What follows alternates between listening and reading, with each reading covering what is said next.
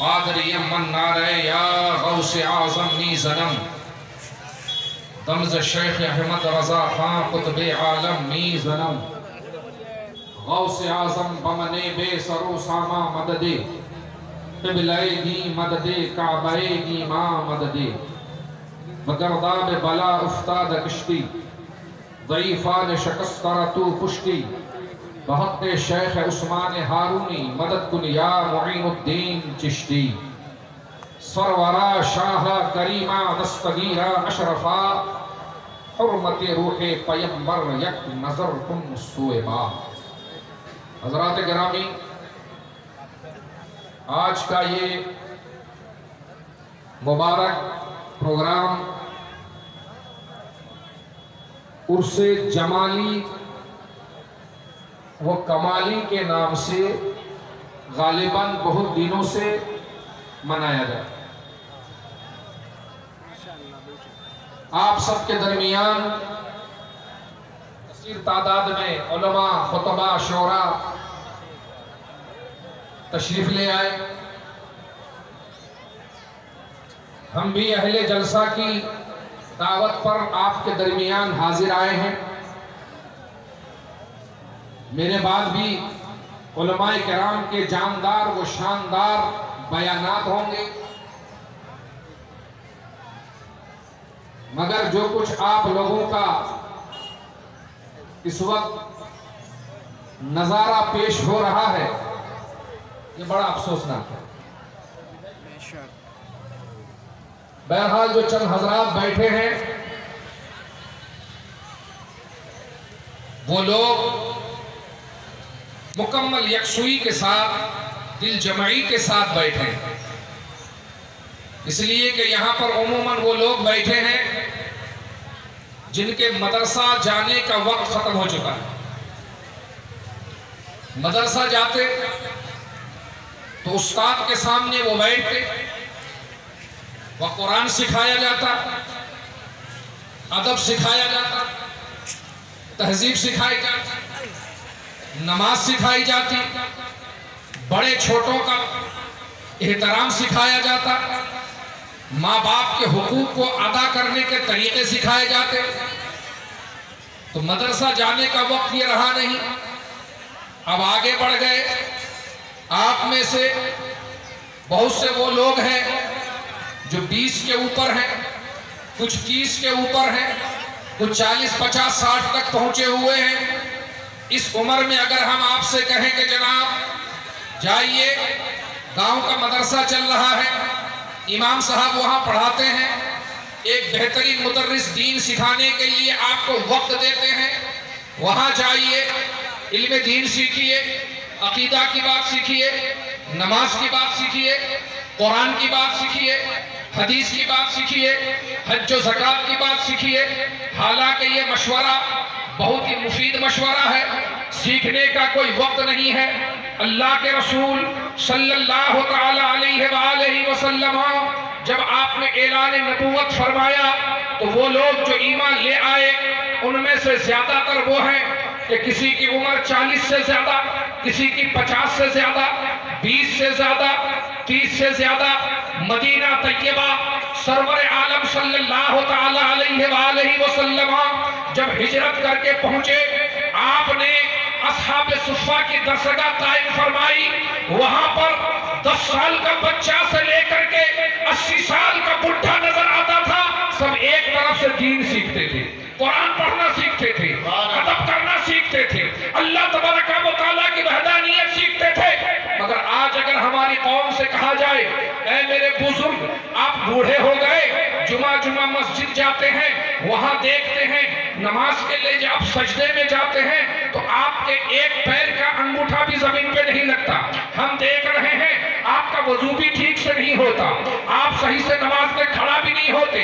क्या आप जुमे की नमाज़ ऐसे पढ़ेंगे? ईद की नमाज़ ऐसे पढ़ेंगे? मामला ये है कि जनाजा में पहुँचते हैं, दोस्त का जनाजा है घर वालों का जनाजा है, किसी आलिम दीन का जनाजा है, अपने किसी करीबी का जनाजा है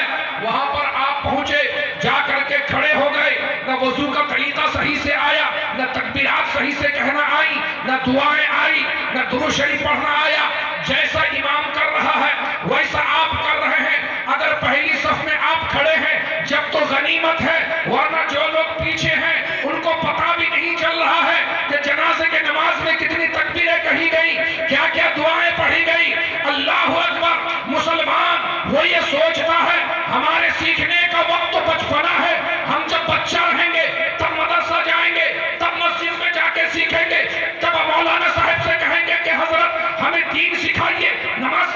सिखाइए। वज़ू का तरीका सिखाइए। मजार पे हाजिर देने का तरीका सिखाइए।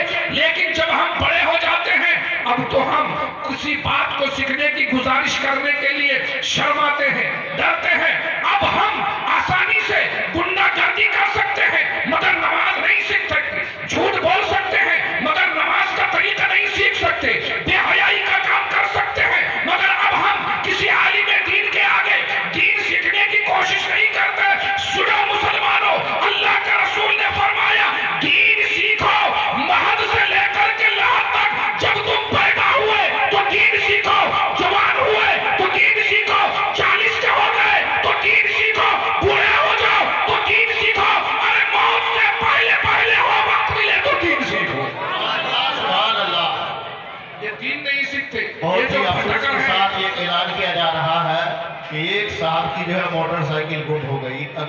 गलती से ले गए हैं तो मैं उससे गुजारिश करूँगा कि एक अल्लाह के वली की बारगाह में आप आए हैं, अल्लाह के वली आपको देख रहे हैं कि आप किस काम के लिए आए हैं। इसलिए मैं गुजारिश करूँगा कि अगर गलती से आप ले गए हैं तो उसको जहाँ से लगे वहाँ ला करके पहुँचाने की कोशिश करें। और मैं मोटरसाइकिल वालों से, चार चक्का वालों से गुजारिश करूँगा कि आप अपने गाड़ियों की जो खुद जो करें, खुद हिफाजत करें। इन्ना लिल्लाहि व इन्ना इलैहि राजिऊन अब देखिए, मैं आपको फ़ोन चुराने के लिए आया हूँ कल भाई। कलमा पढ़ने वालों में से कोई हो? इस नियत से आया होगा अब देखिए, ये भी इसलिए अल्लाह के रसूल ने फरमाया, इन्ना वाला मालो बिन्निया कुछ आने वाले वो हैं कि साहिब मजार से फैज लेके बैठे कुछ आने वाले वो हैं वो उनकी नियत करके आए हैं कि लड़कियों को छेड़े। कुछ आने वाले वो हैं जो ये नियत करके आए हैं कि किसी की जेब में हाथ डाले। और एक आने वाला वो आया था, जो मोटरसाइकिल का सोच के आया। ये मुसलमान मुसलमान अमानतदार होता है। सुनो, अल्लाह के रसूल ने हमें वो दीन सिखाया कि मुसलमानों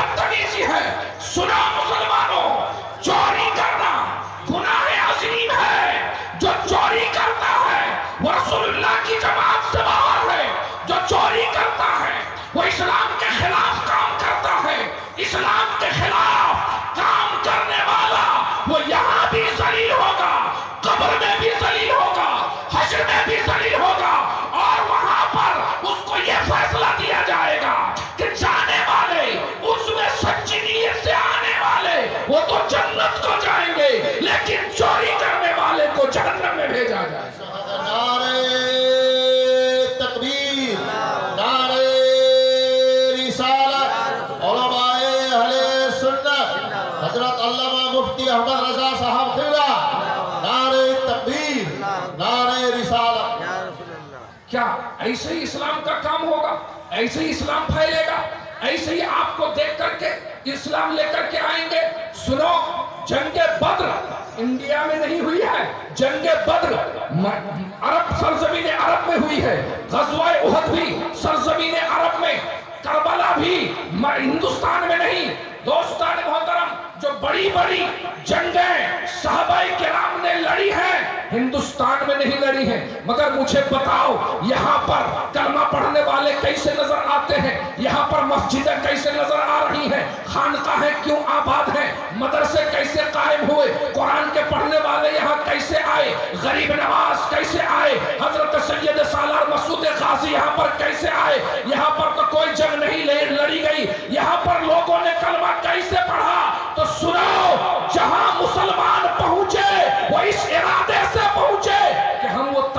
लेकर के जाएँगे। जो रसूलुल्लाह की सिखाई हुई तालीम है, जो कुरान की तालीम है, जो हदीस की तालीम है, हम वहाँ जाएँगे।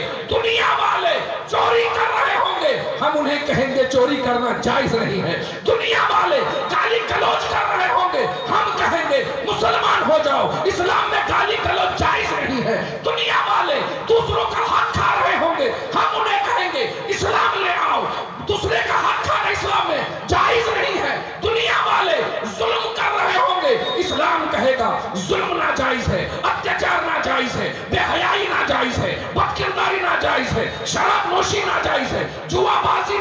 है ना नाजायज है दोस्तान मोहतरम मोहम्मद रसूलुल्लाह के चाहने वाले फकीरान इस्लाम सरजमीने मक्का से निकले मदीना पहुँचे करबला पहुँचे बगदाद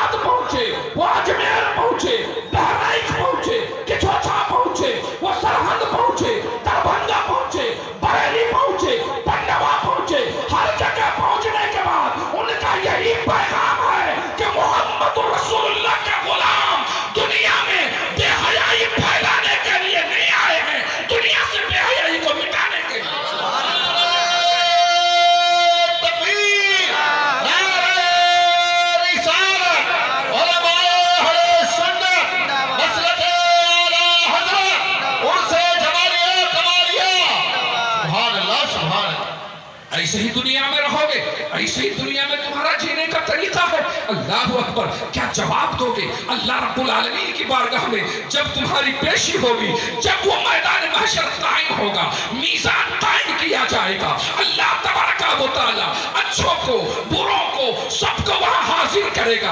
हज़रत आदम से लेकर के कयामत तक तमाम इंसान मौजूद होंगे। तमाम अंबिया कराम के लबों पर नफसी नफसी के अल्फाज होंगे। औलिया कराम की गर्दनें झुकी होंगी। कराम सत्ते में रहेंगे। सालहीन भी सर झुकाए खड़े रहेंगे। ऐसे मौके पर जब बुलाया जाएगा कि बंदा दुनिया में तुझे मैंने ज़िंदगी दी थी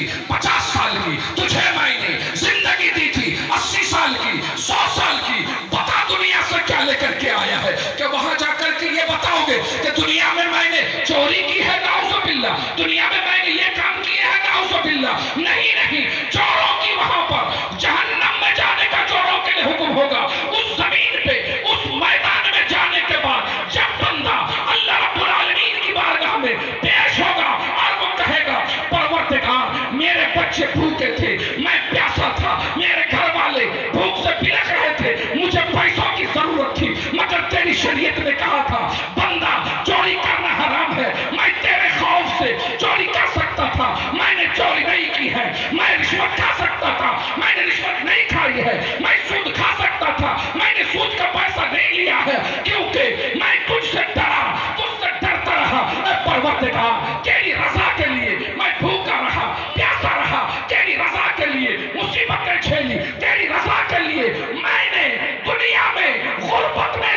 ज़िंदगी गुजारी रब तबारक वो तआला का दरिया रहमत, जोश में आएगा, और जब बंदा अब सच बोलेगा रब तबारक व तआला अलीम व खबीर है, रब के सामने, बंदा अपने गुनाहों का एतराफ करेगा, रब फरमाएगा, बंदा, जा दुनिया में, मेरे खौफ से तूने गुनाहों को छोड़ा था, आज मेरे हुक्म से जन्नत में दाखिल हो जा, जन्नत में चला जा, जिस जगह तेरा दिल लगे, वहीं पे तू आराम से समा।